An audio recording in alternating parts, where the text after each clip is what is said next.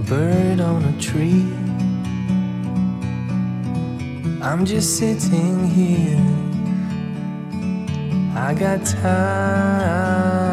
Olá pessoal, hoje nós estamos aqui com a novidade no canal da Residente Biomédico, lançamento exclusivo aqui do e-book Seleções de videoaulas para concursos biomédicos em 2019.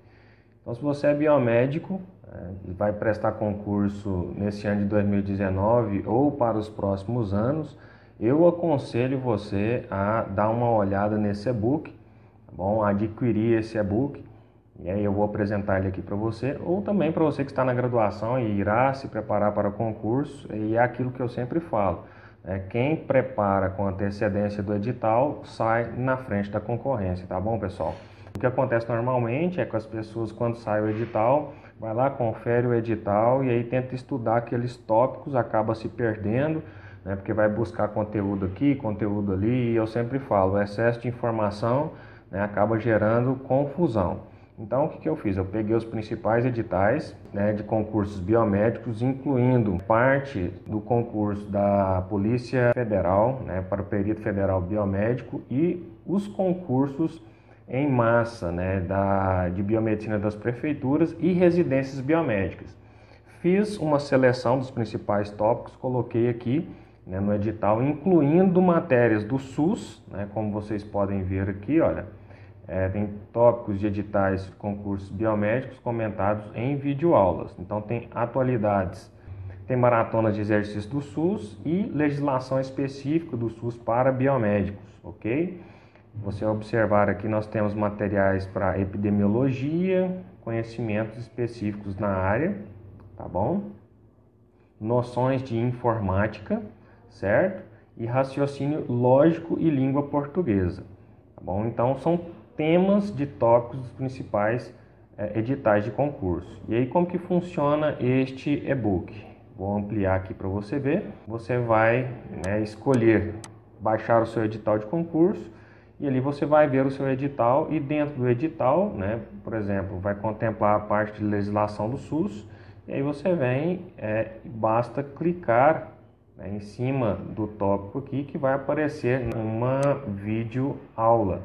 Então, olha que legal, pessoal. Você vai é, percorrendo aqui no tópico do edital do seu interesse. Né? Então, como nós falamos, nós temos tópicos de atualidade, maratona de exercícios, legislação específica do SUS para biomédicos e aí né, epidemiologia, conhecimentos específicos da área. E aí, dentro desses conhecimentos específicos, eu tenho falando sobre vidrarias, preparo de soluções, equipamentos, biologia molecular, princípios básicos de biologia molecular, né? É, noções de microbiologia, identificação e análise de contagem de bactéria, educação sanitária, padrões de herança genética, genética de populações, biologia molecular de replicação, noções de parasitologia, de imunologia, né? sistemas é, de informação, noções de informática, raciocínio lógico, língua portuguesa. E aí como que funciona, obviamente, né? Você vai escolher um tema, tá bom? É, por exemplo, eu vou escolher aqui é, espectrofotômetros e aí eu vou clicar em cima do link e aí eu vou ser direcionado para uma videoaula na internet com um professor né, que ministra esse assunto para que você possa entender. Então fica muito mais fácil aqui já está todo o conteúdo selecionado, tá bom? Para você buscar esse conhecimento e sem perder tempo, né, com buscas, às vezes buscando material desatualizado, tá bom? Aqui não, já foi feita uma seleção e, né, como o tópico é falando sobre introdução à espectrofotometria, você foi direcionado para essa videoaula, introdução a espectrofotometria e aqui um professor falando sobre esse assunto. Basta, né, obviamente, ampliar e estudar sobre espectrometria, pessoal. Então, fantástico. E para todos os temas né, do nosso livro, do nosso e-book, você vai ter né, é, um, uma videoaula selecionada né, direcionada para concursos públicos biomédicos em 2019. E aqui né, eu deixo uma reflexão: sem esforço não existem resultados. Não adianta estudar quando vem o concurso um dia antes do concurso, tá bom?